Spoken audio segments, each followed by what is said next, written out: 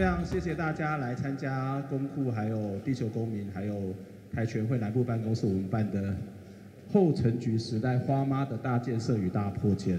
这是公库在高雄办过好几场的活动，然后这应该是人数相当多的一次，显然大家都是冲着花妈来的。对，那呃，我们待会会邀请李根正。还有邱一斌，还有两位公库的记者陈廷旭跟张以莲来跟大家分享。那不过在我们开始之前，我们会有一段我们在去年一整年公库所做的呃这个所谓的报道，我们会有一个剪辑，好一个简单的剪辑。那我们放完这段影片之后，我们就开始今天的座谈。我们每一年都会做一个年度的回顾。那这是去年我们所拍的，大概有三四百场的台湾社会抗议的行动。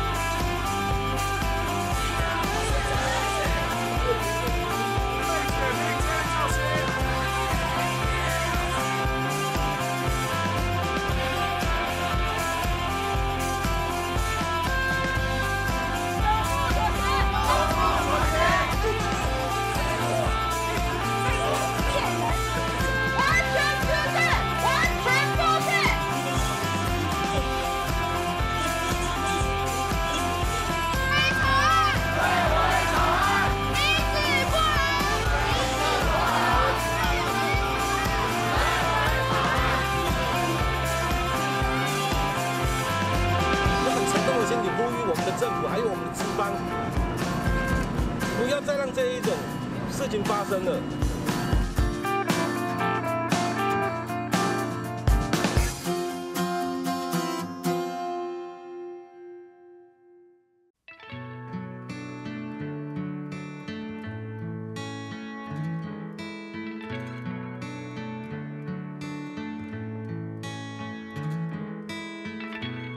很多事情是需要我们去学习、关心或是理解的。它有一些其实不一定是在学校课堂里发生的事情，很多时候其实是在课室外的地方才会呈现的事情。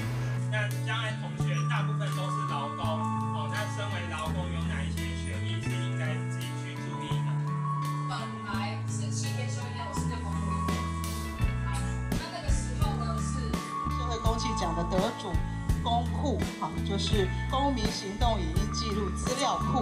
是个新闻媒体，存在是要让弱势发声、批判体制、公共讨论、卷动社会参与、促成社会改革。公共从来就不是一个独立存在的一个个体，它事实上是有几百个呃捐款者，然后是有非常多的读者一直支持我们的存在。那另外一个更重要的是，我们之所以存在，是因为在这社会里面有许多人的声音，他依然不被听到，他依然被扭曲，所以我们必须要存在。这也是我们为什么要存在一个非常重要的目的跟价值。我们请呃今天的讲者都到到上面来哈。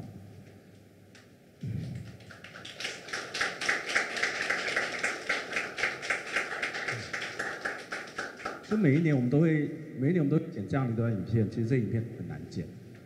然后呃，剪完都很难看完，看完之后都很难发言，因为都会想要掉眼泪。好，那呃，这大概是我们去年一整年，但我每一年都会，大概都会有三四百个社会运动抗争的场子，那这是去年，那我们的全职的工作人员在去年是三个，那今年呃。在五月份我们就多加了一个，虽然我们的捐款的数字是在往下掉的，可是还是要多加一个，因为实在是太多拍不完。呃，但是我觉得我们在做了一个非常重要的事情，就是要把人跟这个社会是连接起来的。就是我们的观众，我们看我们的读者，他不是一个消费者，是一个活生生的人，他必须要跟这个社会的其他人去做连接，因为这个社会本来就是一种相互连接的这个历程哦。那我们也会在很多地方去办，呃，包括像去年我们办的十八所高中的劳基法修正案的这个呃讨论会。那在之前我们也办了公库朋友会，在台湾各个地方，希望能够跟大家有比较多的一点接触，让大家不是只有看到我们的报道好像跟别人不一样，哎，我们还有很多不同的地方，例如说我们的运作方式、我们的组织方式、我们的生存方式。我们希望在资本主义的社会之外，这样的一个经济的逻辑之外，找到不一样的生存的可能性。这大概就是我们要做的一件事情。那我们今年办了一个，开始要办的一个系列活动，简称还没有一个很确定名，叫做“公库战六都”。对，就是接下来我们有六都嘛，哈。那我们会希望在这至少在六都，我们都有机会去办一场我们在当地所拍到的社会运动。的一些影像，然后跟当地的行动者，我们一起来讨论。那我们的第一场其实是就是在高雄，就是在今天，就是我们今天的后城局时代的花妈的后城局时代花妈的大建设与大破钱。那为什么在高雄？呃，因为公库可以活下来，跟高雄是有关的，因为有人捐款，让我们开始一些正常的运作。那私心，因为我是高雄人，所以我们大家要把第一场偷偷的。刚好是我策划，就偷偷把它放在这边。那当然，更大的问题就是，作为一个高雄人，在我们小时候都会觉得，呃，高雄就是台湾味，然后很多的这个进步都不够快，然后都会觉得很大的城乡差距。那很显然的，在民进党执政这几年，你会发现有很多的硬体建设，有很多的房子或很多的交通建设，其实都非常漂亮，然后其实会让很多的高雄人是感觉到骄傲的。但是在这个骄傲的背后，其实是有非常多的血泪的代价。所以过去几年，我们也在高雄拍摄了，包括呃现在还在持续进行的拉瓦克，包括果菜市场，包括旗山的大沟顶，或是我们长期都在关心的大林埔的空屋的问题。待会我们会有这呃高雄的这两年的影片的集锦，所以我们就希望能够办这一场座谈，然后透过这一场座谈呢，让我们重新来思考。呃，这样的一个建设之后，这种所谓的发展主义、现代主义的这种所谓的大旗之下，对这个社会真的是好吗？社会发展难道没有别的可能吗？社会发展难道只能够由上而下吗？社会发展一定必然是有人必须要去牺牲吗？那即使是牺牲，他又得到了什么样的代价？所以，我们今天就邀请到了长期在高雄参与社会运动，然后再去关注台湾啊各地，甚至包括高雄的环境、人权议题的朋友，还有公库的记者，来跟我们分享他们自己亲身的经验。我先来介绍啊，今天我们几位讲者，呃，最左边是林邱玉斌。台湾人权促进会的副理事长，好，那再来是呃根正老师，地球公民基金会，那还有公库的特约记者连哥张以莲，对，目前是中山大学的学生，那在最旁边是陈廷旭，也是公库的特约记者，是呃大学的学生，那他们两位其实负责多高雄公库所拍一些影片。那我们一开始更正，先请阿斌，他们会从所谓的比较城市发展，会所谓的呃角度整体的啊呃做一些分析跟分享。我们先把交给阿斌。好，那个先讲结论哦，就是大家要捐钱给公库啊，哦，这个真的很重要。这个我常开玩笑讲哦，这个我们搞社会运动，特别刚刚看那个影片。很感慨哦，我们一年好忙哦，但是这个忙的过程，除了孤单跟挫败之外哦，公库都一直陪着我们。哦，我们经常开玩笑讲如果你办一场社会运动，连公库都没有来，那你社你这个社会运动可能要检讨一下，可能是你的意呃检讨 setting 有问题啊，或者是你连最基础的新闻联络工作。都没有做好，所以连公库都不知道，哦，所以这个是公库是一个指标。那这个今天要谈这个高雄哈，我来就是不知道要要怎么讲啊，而且他叫我只能讲十分钟嘛。我想这样讲啊，就我我作为一个土生土长的高雄人，其实要谈的或者说要看的，我觉得不只是陈举这十年。你如果看高雄政治版图的变化，大概如果要我讲的话，我会从一九九八年二十年民进党执政，就是大家如果记得很清楚的话，一九九八年是谢长廷当选，然后结束国民党这么多年这个执政啊。那所以我要讲，其实民进党在高雄已经是二十年了。哦，已经是执政二十年，那他对高雄带来的变化是什么？OK，好，那他引起的这么诸多的争端或是争议，它的来源是什么？我我觉得我们可能要搞清楚，而且我们必须要很诚实的去面对，虽然有这么多的争议，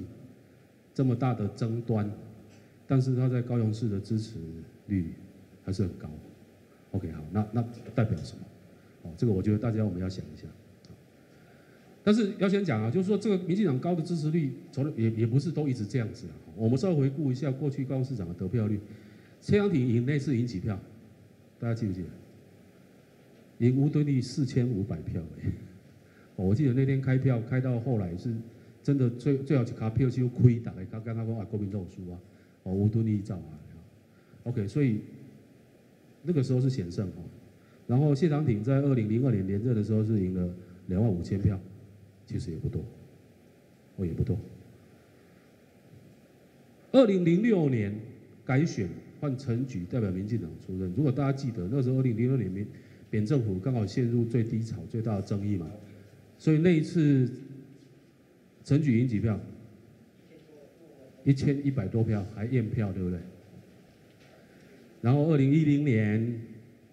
国民党分裂，哦，就是杨秋兴跟黄昭顺出来选，然后得了七十几万票，争取八十几万票，然后才到现在二零一四年所谓的近百万票的得票，所以它其实有一个很很大的起伏。那我常常在想啊，就是说这个这个事情到底，如果从这个选票上面的分布来看的话。我们大概也可以稍微印证一下这个市政府施政的风格。简单讲，赢愈济吼，就愈大也；愈济，伊就感觉我要做的代志愈正当。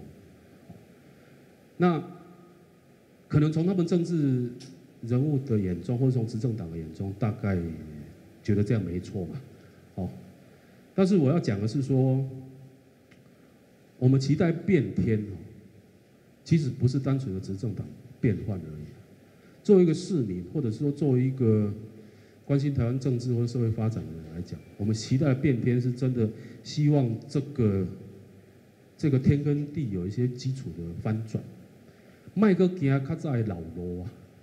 哦，等于咱较早感觉高雄卖啊，是讲讲国民党卖，我对伊卖，那到底摆里对啊？我我们希望会有一些改变嘛。会有一些改变这样子，好，所以我们记得谢长廷执政上来之后，大概有一些改变吼。这个就高雄市民来说，比如说啊，高雄港、高雄港区的改变，哦，那看到弄军军事管制嘛，围起来，OK 啊，有改变，这个我们看得到。但是接下来看到的一些比较基础的有关于高雄市的发展的这个，好像就比较看不到。所以这个据我。大概朋友转述了哦，就是花妈团队大概最讨厌社运人士，或者最讨厌我们骂一句话，就说啊，你拢搞国民党赶快啊，哦，然后他们就觉得很不公平，很不平，这样就没送，啊，就奇怪，啊，就国民党接拜啊，我那我靠接拜啊呢，啊，真的很抱歉，我当时要进行北拜，北拜啊，北拜艺术是什么？就是说他对于一些根本发展的这个这个想法的。基调我觉得没有什么大的改变。我来之前我查了一下高雄市，高雄市的就业人口里面，这个大家猜服务业比较多还是制造业比较多？对吗？大家都以为高雄是一个工业都市，是错了。高雄市早在二十年前就服务业多过制造业。哦，我们看最县市合并之前的资料哈。高雄市有六十八 percent 的就业人口是在服务业，制造业哈，我们如果扣掉工业，扣掉制造业不算，我们只有二十七 percent 的人是在制造业里面。所以高雄市其实早就在就业人口上面已经转成是一个以服务业为主。好，那所以回到大家很关心的，那个高雄人到底那生活有什么改变？比如讲休息有较好无啊？为什么？因为我们的服务业。占多数的一个都市里面，我们的产业政策基本上还是 follow 工业，还是被工业掌控，还是被大的资本掌控，比如说地产、建设公司。啊，所以这个跟过去有没有大的改变？基本上我们看不到。哦，那你当然会讲，这个当然有很多困难的地方。哦，你要做产业转型、产业变迁，非常非常。困难的地方，但但是高市政府有这么多的资源，而且它的得票率越来越高，甚至在这一这一届开始，连议长全部都拿下来。那反而你在你的支持率越高，你的政治权力越越来越大的时候，你做的事情却反而回到老路上面，回到这个过去的一些。比如说，我经常讲国债市场这个开发的案子，就是会让我们比较失望的地方在哪？也就是说，我们期待一个既然以人权为为这个为傲的哈，或者说以为为口号的一个执政团队里面，他他最起码要稍微注意一下国际人权的一些变，就是说他这个变化或者说进步。我我我念一段哈，我们当年。这个在国债市场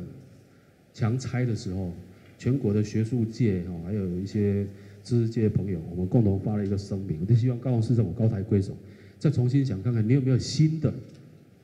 你有没有能够有突破性的，你有没有能够有不同于过去国民党的这种拆迁的模式，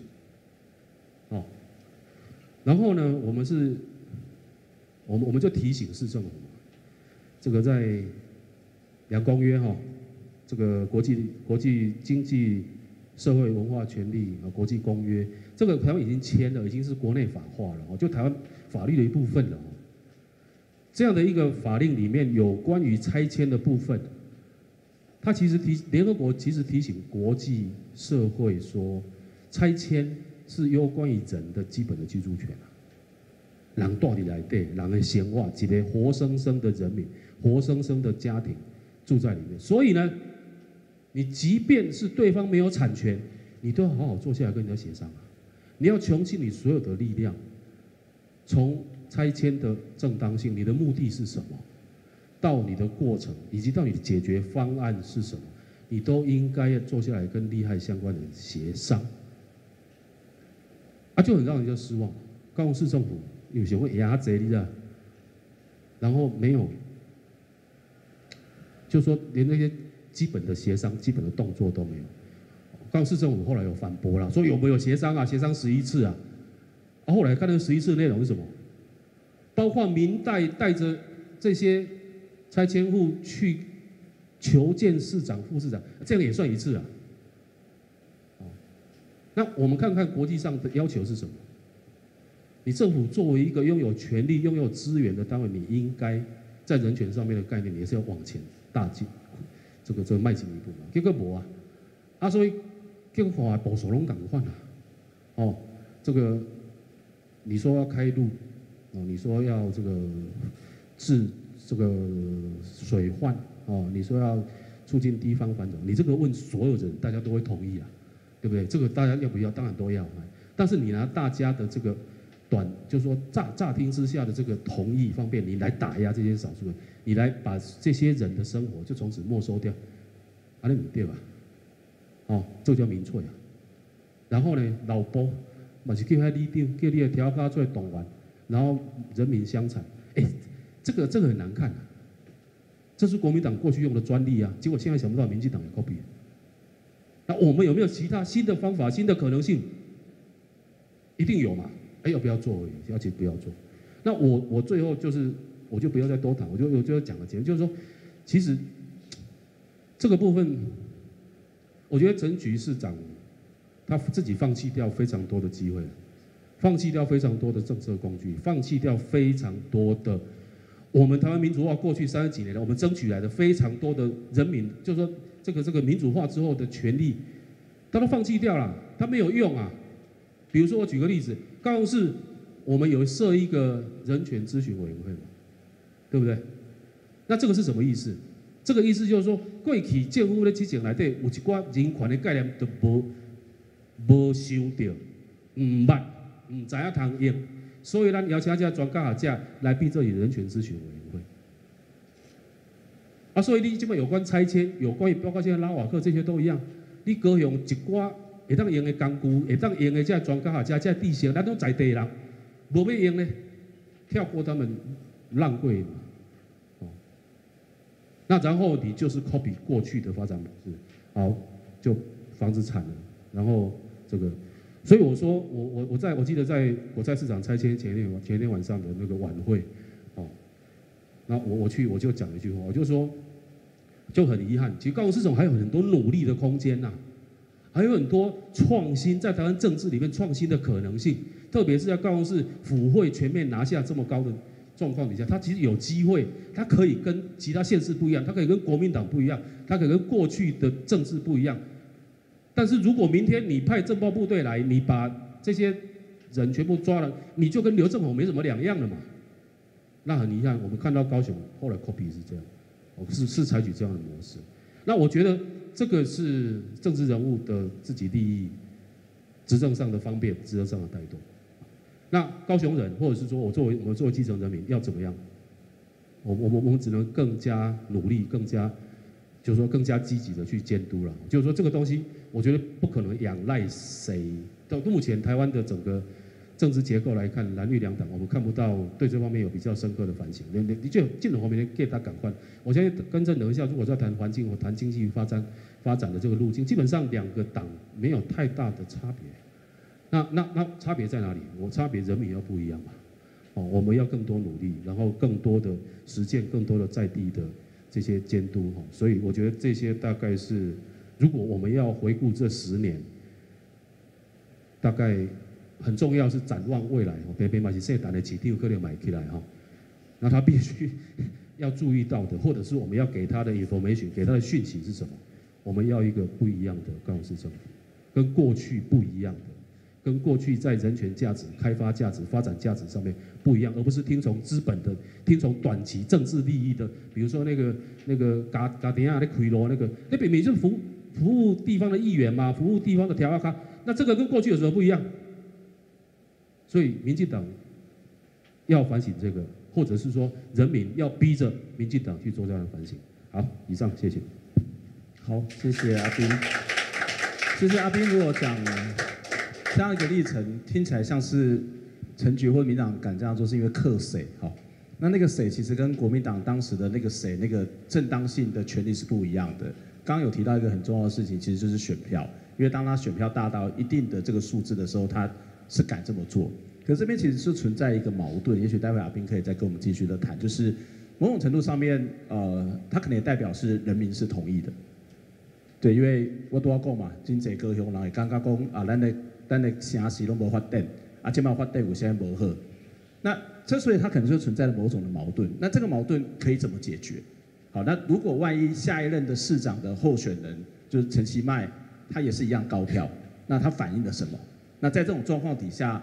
大部分的农民看起来是同意的。那我们这些看起来比较不同意的人可以做什么？也许待会阿斌可以再继续跟我们分享。那接下来我们就请根正老师来跟我们谈一下他的看法。呃，各位朋友，大家好。诶，其实刚刚阿斌在谈说，可能谈这十年不够哈。我其实有相同的感受，就是，呃，可能要看八年民谢长廷执政这二十年的尺度来看，可能会得到一个比较完整的视野。那就我二十年啊，我跟我我跟阿斌可能不太一样，就是我是高雄女婿啊，我是一九九三年真才正式定居到这个城市来哈，那到现在大概二十五年的时间，那我记得谢长廷那一天胜选的时候，我跟老婆真的是欢欣鼓舞，开心的不得了，就是高雄终于变天了。我相信在座跟我很多年龄就是比较接近的朋友。对谢长廷那一天胜选，应该也有类似的感受，就是大家很渴望能够改变吴敦义长期执政的状况。那谢长廷执政之后，我觉得，呃，我讲的是正面的部分，就是说他在那个核城市的核心区域的这些改造，哈，还有刚刚讲那个港湾，就是高雄港湾区的这些开放跟改造，还有一些公园、校园拆除围墙、开放空间。还有搭配什么？搭配就是当年在接着就是捷运嘛，捷运施工，然后呃开始一系列的这些景观营造，确实改变了高雄比较核心都会区的景观。那而但是这些景观带动的是另外一面，正面跟负面的，就是房地产的兴起，就是在这些公园绿地旁边的房地产就变得比较有价值。但这二方面确实也让这些人民。比较有一个好的休憩的空间，好，那这个东西就是造就今天你现在看到很多地方房地产兴起一个蛮重要的原因，所以你可以说它成功，但是二方面它也带来了我们房地产就是房价高涨的问题。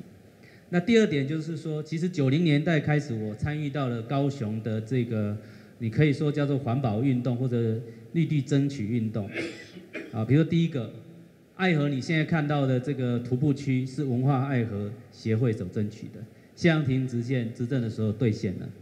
中央公园以前到处都是硬体，整个全部都是硬体。一样，民进党政府就是因为民间社会压力，现在变成了是一个以绿地为主的这个中央公园，所以我们才会批判说中央公园再搞一个李科勇。这个是一个走回头路，但是整体上，如果你看二十年，中央公园是有改造的，因为早期在吴敦义时代、国民党时代，整个都是硬体。再来就是说，魏武魏武营公园的促进运动也成功了，但是它有一部分变成了，就是不完全百分之百都留变成是一个绿地。然后呢，九一年开始的柴山自然公园的催生运动，在二零一一年完成，就是历经二十年。好，所以如果你看这个转变，你会。我不会觉得说这个城市都没有改变，确实有这些改变，所以人民会觉得说好像这个城市跟以前民进党执政、国民党执政确实有点不太一样。那再来我慢慢进入，就是说那有一些负面的问题慢慢出现哈。那有一些是正面跟负面并存的，比如说，呃，现在大家关心像那个茄定一之四道路嘛，但是其实哈，茄定一之四道路之前还有个一之一道路是杨秋兴时代就开的，我们那个时候在反对他把这个茄定四季破成一半。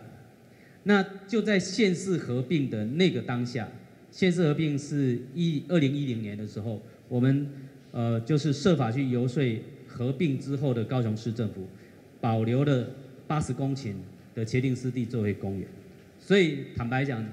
这是陈世府的功劳。但是呢，没想到陈世府后来又坚持要开一至四大陆，这就是大扣分啊。所以整体上就是说，如果你看这些事情。呃，湿地政策上，陈世府一直在标榜说高雄有很多湿地，但是别忘了，这些都是台湾的，或者至少是高雄的民间社会不断的在跟市政府角力 argue 之下的成果，并非是市政府片面，就是所谓正，就是说片面的一个好作为哈。比如说洲仔湿地、鸟松湿地，基本上其实都是民间团体去经营好，然后呃政府去收割了，光阿贝。但是坦白说，如果政府愿意收割也还好，因为代表政府愿意朝这个方向去走。好，然后第四个大项就是说，呃，这里面在在二十年间有有我们有经历过的呃两件事哈，跟陈师傅某种程度在立场上比较接近的，一个就是零九年的时候我们在反对台电大林厂的新建，那那个时候他们想要把旧的机组然后拆掉，然后扩建成四个。呃，四座八十万千瓦的燃煤机组。零九年的时候，那个时候全台湾的反空污的意识很很低很低，高雄市民对于空屋的感觉没有没有特别的感觉，已经都麻木了。所以我们当时连连就是透过跟高雄市政府的串联，高雄市议的串联，终于在议会呢，在环保署呢，以一票之差把四座减为两座，要不然就是现在有四座燃煤电厂在那边。好那这个部分我会认为是加分的。然后二零一五年的五清官场，五清官场其实市府这边的态度也很重要。那其实是透过，主要是后进社区二三十年来努力不懈坚持，就是要他兑现政治承诺，就是中央政府兑现承诺，所以逼的陈市府这边也某种程度在好几次的晚会都在我主持的情况下，他们都再三的承诺说他们会。就是要支持这个五清要迁场，好，那从这个角度来讲，就是说这些社会运动，呃，跟陈世武的是确实还是有一些合作关系，可是那个东西不是纯粹市政府单方面善意的作为，而是因为有强劲的社会力的结果，啊，然后接下来我要谈的是，整体上我认为这整个城市最大的问题就是工业污染的结构在二十年间没有任何的改变，就是从谢阳廷执政以来到现在为止。空污仍然在全国仍然垫底，然后整个产业结构没有办法翻转，其中几个指标我们可以看一下，在县市合并之前，杨秋兴是力挺林园三清扩厂，就是我们在林园三清那场仗打得非常的惨烈，就是呃明明在高雄就是这个我们讲下淡水溪啊，林就是林那个高平溪口要扩建一个石化厂，从就是要扩建，呃，六十到八十万吨这么大的产能，国光国光石化是一百二十万吨，但是我们没有办法唤起大多数市民的多数，就是说至少是一定的社会动能哈，然后再加上在地的这个反对力量比较薄弱哈，最后我们没有办法阻止这个三清更新扩产，啊，这是一个很重要的指标，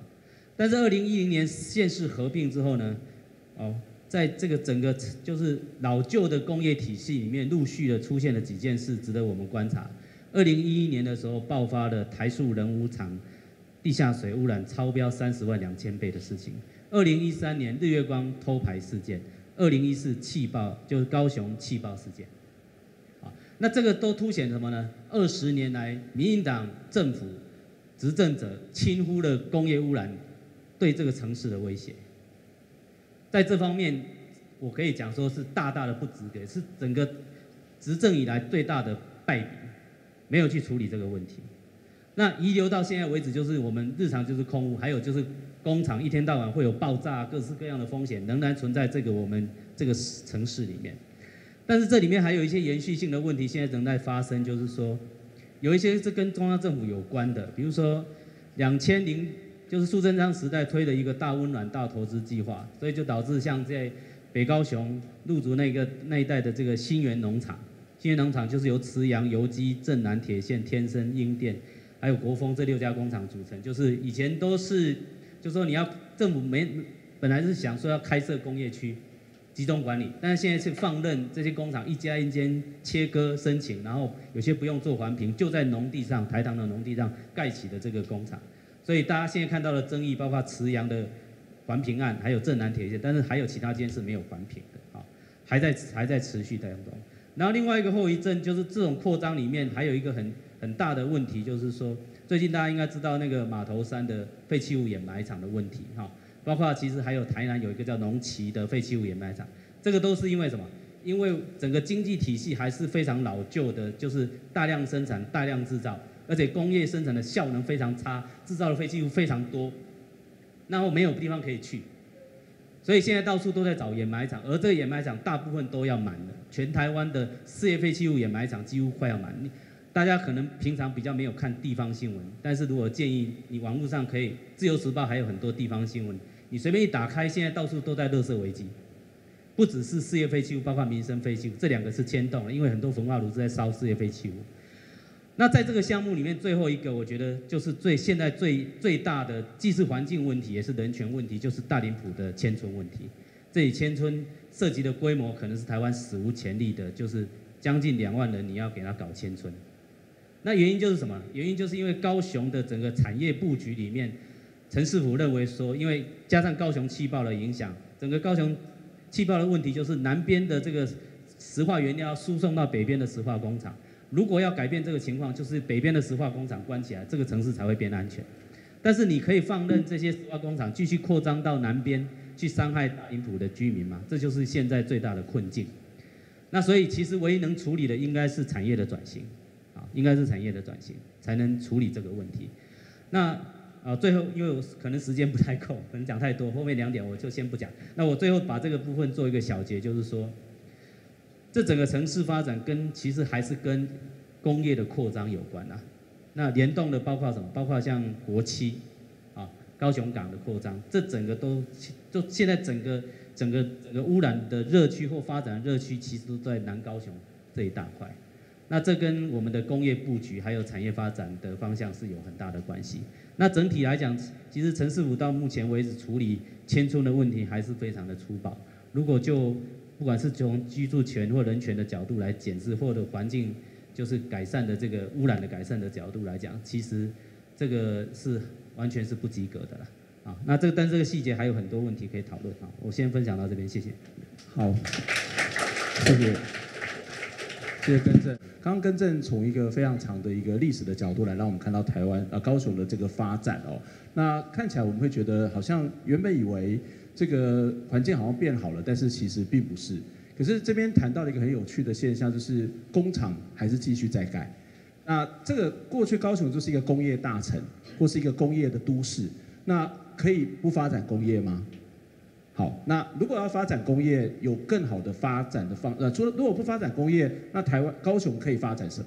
那如果真的要发展工业，那我们有什么样其他的方式，让不会有这么污染，不会有这么大的问题？那待会也要请根正来跟我们回回应这样一个问题